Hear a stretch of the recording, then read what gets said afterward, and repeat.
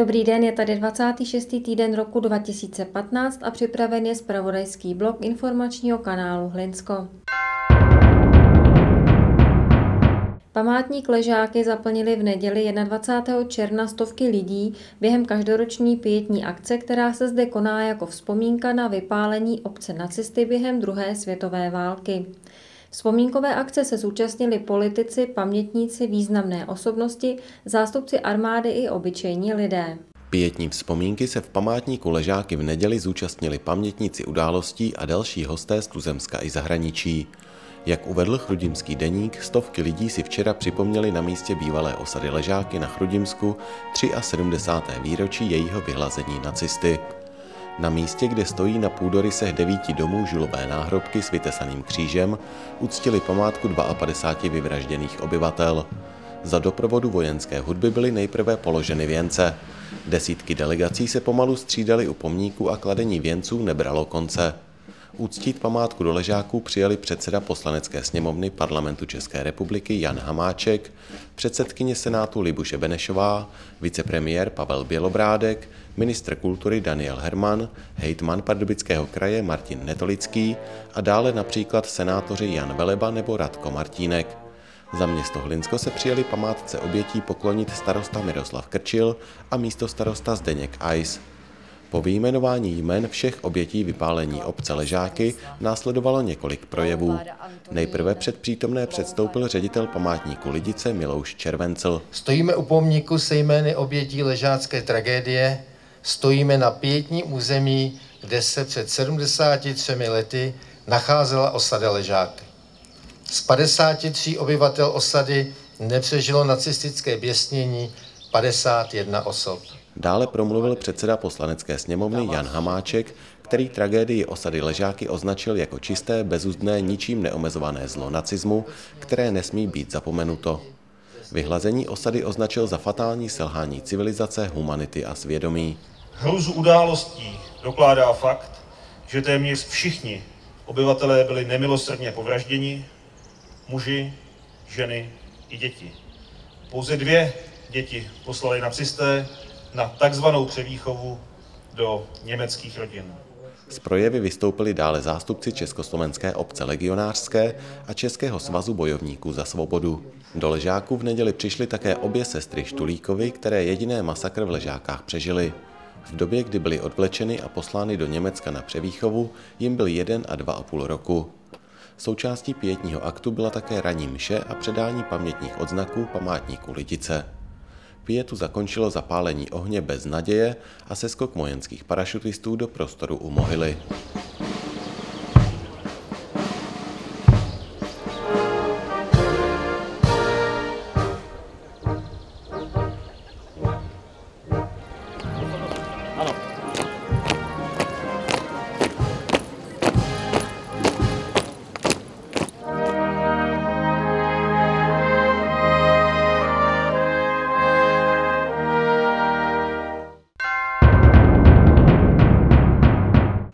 Týden dříve před samotnou pětní vzpomínkou v památníku Ležáky tam tudy proběhla štafeta, která se zastavila taktéž v Hlinsku. 27. ročník štafety spojující Slovensko a Česko začal 10. června na Dukle a pokračoval přes Bánskou Bystricu směr Olomouc, Javoříčko, Ležáky až do cílových Lidic, kam štafeta dorazila v sobotu 13. června. Štafety se účastnili běžci i cyklisté. Do Hlinska sportovci dorazili v pátek 12. června v podvečer a přijetí se jim dostalo na městské radnici. Většina sice přijela autobusem, ale v zápětí dorazila i skupinka cyklistů. Před radnicí účastníky štafety přivítal hlinecký starosta Miroslav Krčil spolu s místostarostou Zdeňkem Ajzem. Po krátkém občerstvení přidal na štafetu starosta Krčil stuhu a podepsal se také do pamětní knihy. Záštitu nad štafetou převzali prezidenti obou republik, ministr obrany a hejtmani jednotlivých krajů. Štafeta připomíná krom tragédie vyhlazených obcí i 71. výročí slovenského národního povstání a 70 let od ukončení druhé světové války. Po dobu štafety se konaly besedy s válečnými veterány a hlavním cílem bylo přiblížit mladé generaci krvavou cestu našeho armádního sboru po boku rudé armády k osvobození Československa. Letos byla trasa štafety nejdelší za celou dobu její historie.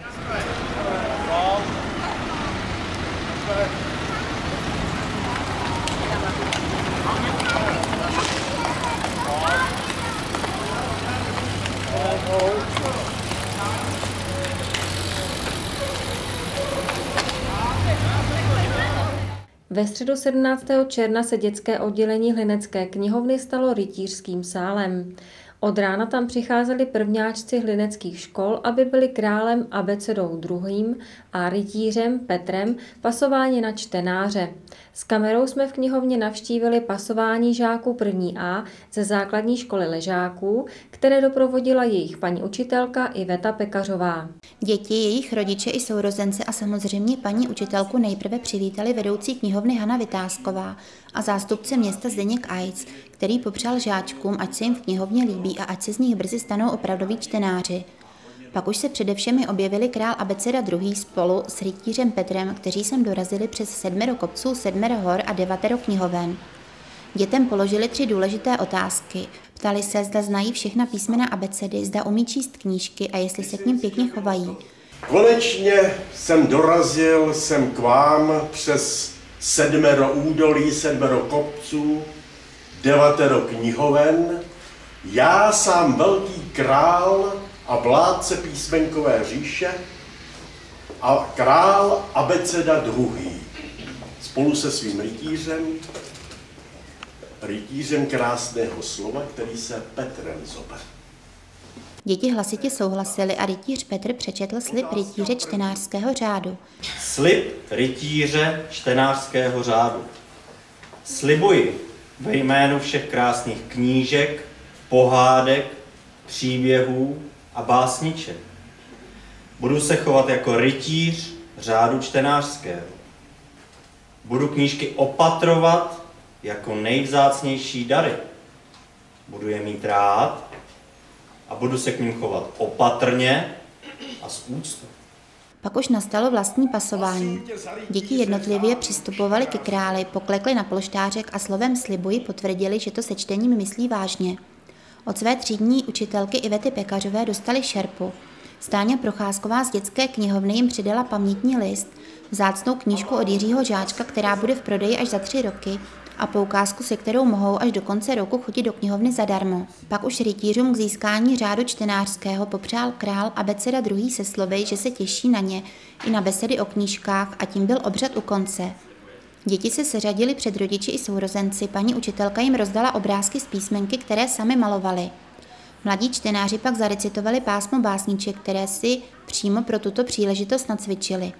Rodiče tleskali, paní učitelka ještě jednou dětem popřála a na závěr se všichni vyfotili s králem Abecedou II. a rytířem Petrem.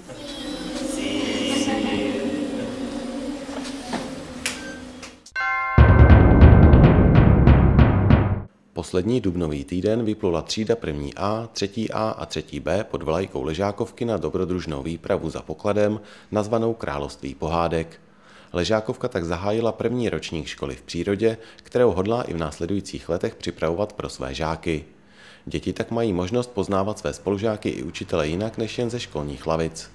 Žáci našli útočiště v penzionu Vysočina ve Škrdlovicích, kde se jim dostalo hojnosti ke vší spokojenosti.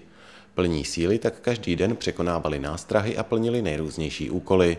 Za jejich úspěšné řešení byli obdařeni pohádkovými penězi. Aby byla plavba co nejnapínavější a boj co nejvyrovnanější, rozdělili se do čtyř posádek. Každá posádka si vymyslela originální název, bojový pokřik k zastrašování nepřátel, zvolila kapitána a v neposlední řadě si vybrala barvu, kterou si pak batikovanou technikou obarvila pirátské šátky. První velkou výpravou byla pěší túra na Velké dářko, po které prokazovali svoji mrštnost, rychlost, pozorovací schopnosti, znalost svého jazyka a bohatost slovní zásoby. Druhá výprava vedla do skláren Svoboda v Karlově. Zde děti dostali zajímavou lekci o výrobě skla a mohli rozšířit své bohatství o sklářské originální vzorky. Nouze nebyla ani o prokazování zdatnosti, síly, obratnosti, šikovnosti a chytrosti v hrách na palubě. Kdo se dostal na mapě k jakémukoliv pohádkovému ostravu, čekali na něj nelehké úkoly. Ve velkém pohádkovém souboji se pak také muselo prokázat, která posádka je nejstatečnější a která je schopná ubránit svého kapitána. Nemohlo chybět ani večerní řádění u ohně, opékání a zpěv. Po všech náročných úkolech dopluli všechny posádky do cíle, kde čekal velký sladký poklad. Pozadu ale nemohli zůstat ani druháci. V rámci dosavadní úspěšné spolupráce se základní školou Bílovice nad Svitavou vyrazili 8. června na týdenní pobyt ve škole v přírodě do lesního penzionu Podmitrov. Tato výprava byla zaměřena na strašidla a celá byla inspirována filmem Adží Duchové. Děti navštívili zříceninu hradu Mitrov, pozdravili se s duchem Albertem a každý den vykonávali úkoly, které jim Albert uložil prostřednictvím dopisu. Pomáhali například s opravou hradu, vařili nemocnému duchovi čaj z nazbíraných lesních bylin, uspořádali zábavné vystoupení a vyrobili si kostým mumie, bílé paní nebo rytíře. V podvečer měli připravené opakovací testy, ve kterých si připomněli učivo. Vše bylo formou hry a zábavy. Ve středu 10. června děti navštívili hrad Pernstein, kde se dozvěděli něco o životě tehdejších obyvatel. Den před odjezdem jim Albert napsal dopis o pokladu, za kterým společně vyrazili. Každá skupina našla svůj poklad a všichni byli za své úsilí odměněni. Díky slunnému a teplému počasí se celý pobyt vydařil, děti poznali nové kamarády a všichni se v pořádku vrátili domů. Festival Arci Farci se již v Hlinsku zabydlel. Koncem tohoto týdne od pátku 26. do neděle 28. června proběhne bohatý program zaměřený nejen na studentskou tvorbu hned na několika místech. Pátek se ponese v duchu divadelním a hned několik představení poběží v multifunkčním centru. Sobota slibuje hudební večírek v areálu DTJ a neděle pohodový den na Betlémě a následně v parku u Drachtinky. Ahoj Hlinsko. Tohle byl Kohy, náš patron letošního Arcifarci. To je vlastně proč jsme tady, že jo? To je proč, no. Můžete ho znát i tady ze Skleniček, což je teda, teda z nálepek, což je zajímavá věc. Potom tady se mnou stojí Tomáš, který teda nám vybral sjezdil festivaly divadelní, co se dalo, vybral ty nejlepší kusy. Pak tady je Tomáš, známý performer, renesanční člověk, který zařídil ještě jednu srandu, o který vám poví. Ta bude v neděli. A já bych teda začal tím divadlem, protože to je v pátek a Tome, ty máš to divadlo rád, já tam jako chodím jenom proto, že si tam můžu dát dvojku bílého. Pověděl bys nám o tom, prosím tě, něco? A tak já mám to divadlo hrozně rád a myslím si, že divadlo jakoby si zaslouží mít rádo a proto jsme ho i zařadili do Arci Farci a pozvali jsme super, pozvali jsme super jakoby divadelní soubory. No, no je jakoby, oni jsou to jako skutečné divadelní soubory. A třeba ráno tady zahrají reverzní dveře studenti Jamu z Brna, nebo, nebo na večer potom tady zahrají super. Ty jsou fakt super. To jsou, no ty jsou, no, no to uvidíte. No, v skutku, jo, jo, jo. A pak tady večer třeba zahrajou Mime Prague, mimové z Prahy, což je taky jako super, prostě super věc. Super. A pak, eh, pak eh, je tady spousta dalších super divadel, o kterých bych, bych vám rád vyprávěl, ale bylo by to asi dost na dlouho, takže se podívejte na arcifarci.cz na program a tam si vyberte. A nebo si přijďte vybrat až na arcifarci, to stejně nikdo nepozná. A vlastně jsme zapomněli zmínit, že my jsme mezinárodní. Jo, my jsme, a jo, my jsme Protože, když si chcete potkat mladí lidi, z Polska, z Rumunska a Maďarska, tak to je ta ideální příležitost. Mimochodem vám předvedu vaše svý performace. Jak se tomu říká tomu slovo? Performace. Perf- Perforace. Performace. No a to bude teda v pátek a v sobotu, v sobotu teda budou ty kluci z Maďarska, ty tam budou dělat ty ohýnky různý, budou si házet, plivat ohně. Ale ono to bude mnohem víc tu sobotu. Ta sobota bude neskutečná pecka. To by mě tady třeba Honza, který tam bude hrát ve dvou kapelách, mohl jako něco povědět. Určitě uh, ohledně soboty, na to se všichni určitě musíte jako těšit, minimálně tak jako my, protože tam bude hromadu, hromadu dobrý hudby. Můžu začít třeba my lidi a poletíme, kterou určitě všichni znáte. Pak tam budou nějaké žďárské uskupení Letroro a Houčáčos, se kterými mám tu čest hrát. Potom Dan Mertíko z Brna, výtečný folkař a tady Tomáš Raufus uh, s kapelou Dáš si, která jako hlinecká legenda, dnešní době možná. Budoucí. Budoucí. A uh, určitě tam bude nějaký pivo, nějaký klobásy, nějaký kluci, nějaký holky a čím, čím víc nás tam bude vlastně, nejenom v sobotu, ale po celou dobu festivalu, tím to bude lepší. A tím víc si to vlastně všichni vzájemně užijem. A hlavně tam bude srdíčko a láska. To já rád. Ne, já bych to neřekl líp, já jsem trošku dojatý, že rovnou posílám mikrofon tady Tomášovi, který poví, co tady bude vlastně tady přímo na Betlémě v tu neděli, protože to bude hrozná spousta. Takže v tu neděli, tak v tu neděli, po pořádný party, po pořádném koncertu, přijďte určitě si dát tedy raní pohodičku, snídaní v trávě, poté tady budou uh, další divadel, divadelní uskupení a taky nějaká hudba. A bude to už takový pohodový, chilloutový den. A bude tady spoustu toho programu. A samozřejmě spoustu dalších zajímavých skupin. Bude se hrát třeba audience od Havla a tak dále a tak dále. A k večeru se přesuneme k Drachtince a tam bude, budeme roztáčet divoký kola a bude tam eh, longboardový a skateový session a bude toho spoustu. Prostě přijďte. Ať se kde si, přijď na Arci Farci. Eh, Tahle země je i pro starý, i pro mladý, takže se nemusí bát, je to, eh, je to multigenerační festival určitě. Takže pozvi bábu, pozvi dědu, pozvi dceru, pozvi syna, pozvi strejdu, pozvi tetu, pozvi mámu, pozvi tátu, pozvi, pozvi. 19. června proběhl v multifunkčním centru v Linsku již 19. profilový pořad Roztančené střevíčky. Téměř tříhodinový program byl určen pro rodiče, veřejnost, ale hlavně pro bývalé tanečníky tanečního klubu TKG Hlinsko. Pozvání přijali i choreografové, trenéři a další spolupracovníci klubu jak z tanečního světa, tak z řad sponzorů a rodičů. V tomto roce klub slaví 30. výročí od svého založení. Profilovém pořadu se tak prezentovali vzácní hosté, taneční kluby, které spolupracovaly na přípravách významných formací TKG Hlinsko. Ty potom mohly spolu s hostujícími páry vyjet na mistrovství světa nebo mistrovství Evropy. Přání mnoha úspěchů a poděkování za reprezentaci směřovalo k tanečnímu klubu z úst pana starosty Miřetic Jaroslava Choury. Pozdravnou zdravici zaslala prezidentka Českého svazu tanečního sportu Eva Bartoňková. Tančili malé děti, junioři, dospělí i bývalí tanečníci, kteří završili celý program formací sestavenou zkušeným a s úspěšným choreografem Petrem Horáčkem, speciálně k 30. výročí klubu s příznačným názvem Balada pro Marii. Závěr patřil velkému poděkování vedoucí Janě Malinové. 30. výročí to bylo 30 rudých růží od juniorského týmu a 30 bílých růží od hlavního týmu tanečního klubu. Po ukončení programu se všichni trenéři vedoucí klubů, choreografové, rodiče i tanečníci sešli k přátelskému popovídání a za vzpomínání na roky minulé u slavnostní tabule. V některém z příštích vysílání přineseme v kaleidoskopu průřez celým večerem. V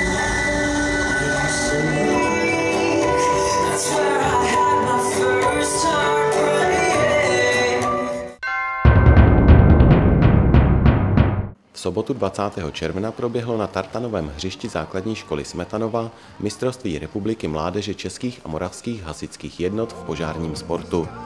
Letos bohužel patron hasičů svatý Florián nedopřál hasičům pěkné počasí a tak nástup proběhl za nepříjemného deště. Mezi hosty této významné postupové soutěže byli starosta města Hlinska Miroslav Krčil, prezident České hasičské jednoty Vasil Silvestr Pekar, zástupce prezídia Moravské hasičské jednoty Krátký a další představitelé hasičských organizací a veřejného života. Po úvodních proslovech začala samotná soutěž. Ani chladné počasí neodradilo mladé hasiče od toho, aby podali maximální výkon v jednotlivých disciplínách, kterými byly běh na 60 metrů s překážkami, štafeta 4x60 metrů, požární útok s vodou a uzlová štafeta. Výsledky celého soutěžního dne byly následující. V kategorii starší žáci zvítězili Opatovice před druhými Bratčicemi a třetím Hlinskem. V kategorii mladší žáci vyhráli Mělčany, druhé skončilo Hlinsko a třetí Nalžovice. V uzlové štafetě vyhrálo mezi staršími žáky Hlinsko, před druhými Nalžovicemi a třetími Syrovicemi. V kategorii mladší žáci vyhrálo Hlinsko před Nalžovicemi a Lipčicemi. Hodnotil se také běh jednotlivců. Ze starších žáků vyhrál Jan Houdek z Opatovic, před druhým Janem Vodičkou z Hlinska a třetím Petrem Petřinou z Nalžovic. Z mladších žáků byla nejrychlejší Lenka Doležalová z Mělčan, před druhým Jakubem Hledíkem rovněž z Mělčan a třetím Jakubem Švecem z Nalžovic. Pořadatel, kterým byl místní sbor České hasičské jednoty, tímto děkuje všem, kteří se podíleli na hladkém průběhu celé soutěže. Především pak svým členům, kteří přípravou strávili několik týdnů před soutěží a ostatním zpřáteleným sborům, kteří při soutěži také pomáhali. Poděkování patří v neposlední řadě i kuchařům z jídelny základní školy ležáků za vynikající oběd. Na řadě je sport a nejprve kopaná. Po výhře 2-4 na penalty v Litomyšli z předminulého týdne byli hráči Hlineckého FC natěšeni na poslední utkání jarní části soutěže, které se odehrálo tentokrát netradičně už v pátek 19. června od 17 hodin. Soupeřem Hlineckých byl tým Dolního újezdu. Páteční zápas bohužel nepřilákal do Olšinek patřičné množství diváků, ačkoliv hra přinesla doslova brankové žně, naštěstí na straně domácích. Skóre se otevíralo již v 11. minutě a během prvního poločasu už hlinečtí vedli 4-0.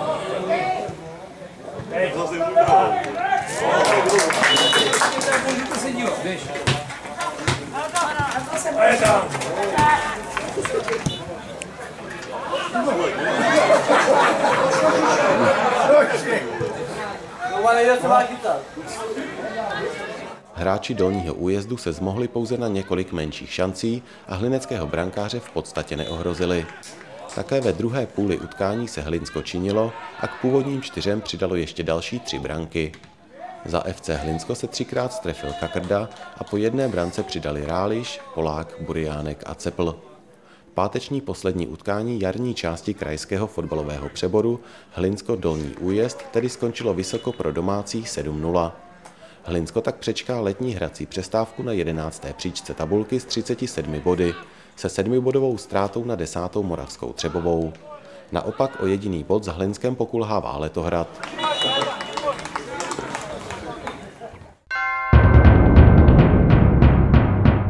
Základní škola Smetanova je vyhlášena zdravým vztahem k pohybu a právě proto pořádá i na závěr školního roku mnoho sportovních akcí. Jednou z nich jsou plavecké závody žáků prvního stupně, které se letos konaly v pátek 19. června dopoledne v Lineckém bazéně. Od 8 do půl desáté soutěžili děti z prvních a druhých tříd, od 10 do půl dvanácté je vystřídali třetíáci a čtvrtáci. Po nezbytném rozplavání a rozcvičení následovalo plavání na čas – Tělocvikáři si připravili stopky a závody mohly začít. Děti přistupovaly po čtveřicích nebo trojicích ke startovním blokům, ze kterých skočili do vody a plavali na čas volným způsobem 25 metrů. Pro mnohé z nich nebyly rozhodující vteřiny, ale radost z toho, že se jim podařilo délku bazénu zdolat. Pedagogové je povzbuzovali a spontánně se radovali spolu s nimi z každého z uplavaných metrů. Na závěr nezbývá nic jiného, než popřát všem soutěžícím hezké prázdniny a bezpečné koupání v přírodě i akvaparcích. Plavání smetanky bylo poslední větší akcí před rozsáhlou rekonstrukcí bazénu, která začíná 26. června a měla by být dokončena 31. července. V Hlineckém bazéně se chystá generální oprava, která spočívá nejprve v odstranění staré dlažby, kachliček a izolací a hned potom v instalaci nových úsporných sprchových baterií, ty zajistí lepší hospodaření s vodou. Zároveň se počítá s opravou jímky pod bazénem, která nyní prosakuje. Příjemné plavání v zrekonstruovaném hlineckém bazéně budou moci návštěvníci vyzkoušet už na začátku srpna.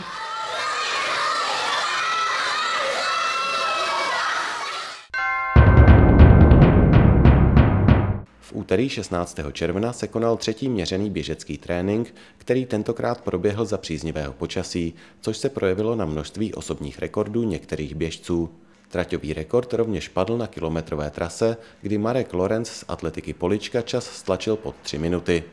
Celkem běželo 62 účastníků, 28 běžců ze základní školy Reslova, 21 ze základní školy Smetanova, 6 ze základní školy Ležáků, 2 z gymnázia a 5 dospělých. Nejrychlejší běžci jednotlivých kategorií z třetího běhu byli za ročníky 2007 až 9 na 200 metrů mezi dívkami Vanessa Urbánková a mezi chlapci Jan Torál. Mezi ročníky 2005 a 6 na 600 metrů vyhráli Eliška Pilná a Vojtěch Bříza. V ročnících 2003 a 4 rovněž na 600 metrů vyhráli Kateřina Břízová a Michal Ročňák. V kategorii ročníků 2001 a 2002 na 1 kilometr zvítězili Bára Čepová a Michal Pilný. Mezi ročníky 1999 a 2000 na 1 kilometr vyhráli Tereza Vítková a Vítězslav Obolecký. Ve věkové kategorii 1998 a starších vyhrála Jana Klinecká a Marek Lorenz. Pořadatelé zvou zájemce oběh i na další, tentokrát již prázdninové běhy 14. července a finálový běh 18. srpna. Každý účastník alespoň třech závodů bude zařazen do hodnocení celé série, která bude vyhlášena na finálovém běhu. Informace ze sportu zpravodajský blok ukončily. Připraveny jsou ale i další zajímavé pořady. Naschledanou u dalších vysílání.